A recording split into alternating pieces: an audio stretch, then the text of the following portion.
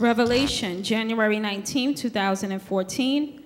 The Lord reveals that similar to how there are ages and dispensations in time, every generation has their own differences in purpose and milestones to accomplish. Ecclesiastes 3 and 1 To everything there is a season and a time every, to every purpose under the heaven.